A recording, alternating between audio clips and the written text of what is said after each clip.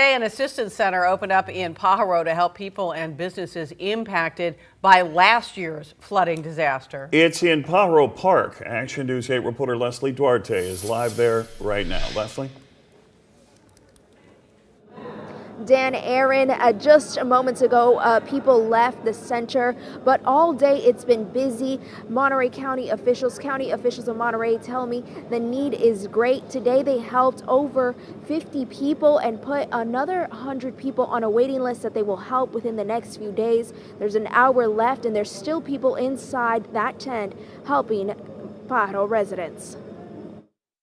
I feel like we got neglected a lot. Elia Sosa is one of the many Pajaro residents displaced by the Pajaro floods last year. We were really affected by it. We had a, we couldn't move back to our house for like almost seven months.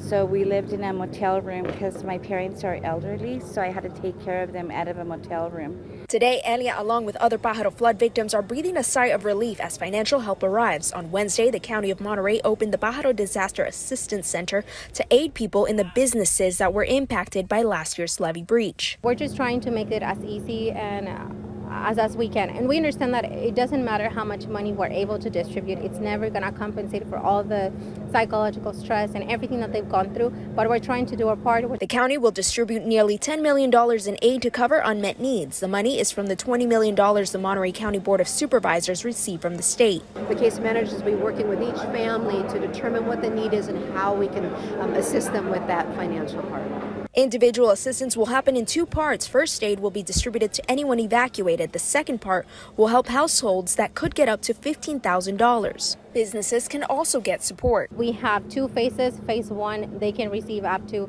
$85,000 for reimbursement of things that they have already uh, purchased and um, recovered. And so that's if they have a storefront business or if they operate from home, they have a maximum of $5,000. And we also have phase two where um, we are doing what is called beautification, so it's an additional $15,000 per business. People applying must prove that they were living or operating in a business in Pajaro at the time of the flood. Services will be available in multiple languages and proof of immigration status is not required.